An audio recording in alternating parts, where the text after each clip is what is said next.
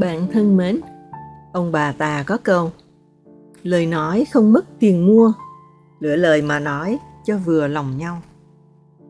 Nhưng thật ra, lời nói không chỉ có tác dụng làm vừa lòng nhau, đôi khi nó là một phép lạ có thể thay đổi cuộc đời của một con người.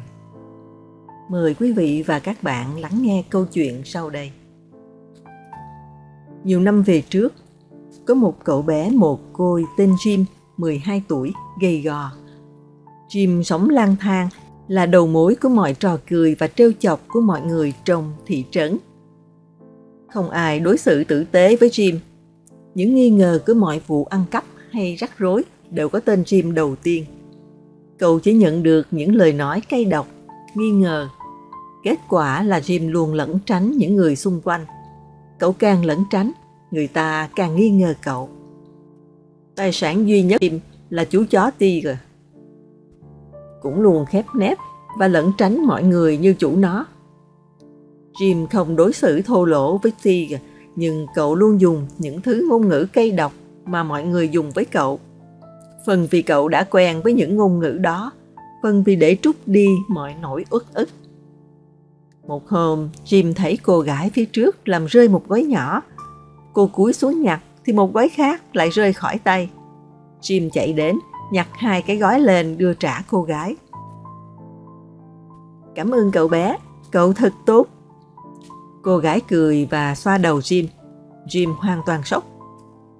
Đó là những lời nói tử tế đầu tiên cậu nghe thấy trong suốt 12 năm. Jim nhìn theo cô gái cho đến khi cô đi khuất. Jim hít sáo gọi ti, Con chó ve vẫy đuôi chạy đến. Cả chủ và chó đi vào rừng. Jim ngồi xuống cạnh Jim ngồi xuống cạnh bờ suối và trong đầu cứ vang lên. Cảm ơn cậu bé, cậu thật tốt.